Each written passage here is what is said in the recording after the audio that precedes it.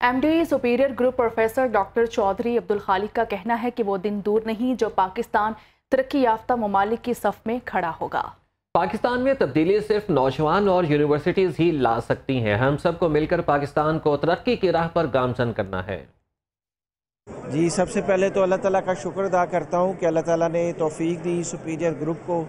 आ, हमारे जो माशाल्लाह लीडरशिप है प्रोफेसर डॉक्टर चौधरी अब्दुलरहमान साहब जिनका वी एन आज से 25 साल पहले भी यही था कि सी, पाकिस्तान पाकिस्तान को दिखाना है कि पाकिस्तान कैसे जल्दी जो है वो डेवलपिंग नेशन से निकल के डेवलप्ड नेशन के साथ में खड़ा हो सकता है।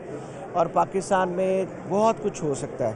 तो अल्हम्दुलिल्लाह, तेईस चौबीस साल में अल्लाह ताला ने इस ख्वाब को जो है वो सच साबित कर दिया है। आज आप देखें कि कितनी यूनिवर्सिटीज़ आई हुई हैं इंटरनेशनल डेलीगेट्स आए हुए हैं। और वो सब लोग देख रहे हैं कि माशाल्लाह, पाकिस्तान में हर तरफ़ जो है इतना ज़्यादा टैलेंट है, इतनी ज़्यादा इनोवेशन है, इतने ज़्यादा स्टार्टअप्स के हमारे पास ऑप्शंस अवेलेबल हैं कि अल्लाह ताला की फजल करम, अल्लाह के फजल करम से वो दिन दूर नहीं है कि जब इन ताला पाकिस्तान जो है वो तरक्की याफ्ता ममालिक के साथ में खड़ा होगा इन बस इसमें ये है कि हम लोग आगे ये चाहते हैं कि जैसे अभी भी माशाल्लाह गवर्नमेंट ऑफ़ पंजाब जो है गवर्नर साहब जो हैं, बहुत ज़्यादा सपोर्टिव हैं।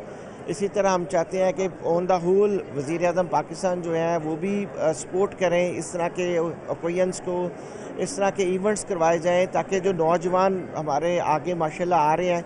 मैं आपको बताऊँ कि पाकिस्तान के अंदर अगर तब्दीली आ सकती है तो वो तब्दीली जो है, वो सिर्फ़ और सिर्फ़ नौजवान नस्ल और यूनिवर्सिटीज़ लेके आ सकती है। तो मैं यही कहूँगा कि इस वक्त, माशाल्लाह हमारी नौजवान नस्ल जो यूथ है, उसको मोटिवेट करने की ज़रूरत है, उसको डायरेक्शन दिखाने की ज़रूरत है।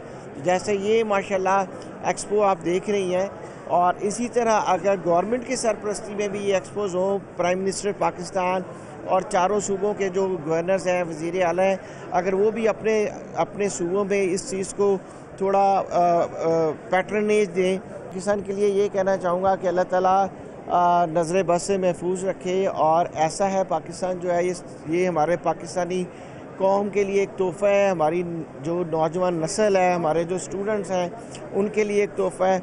और मैं यही कहूँगा कि तमाम लोगों को मिल के पाकिस्तान को आगे नंबर वन बनाना चाहिए और सुपीरियर और सुप्रीम पाकिस्तान।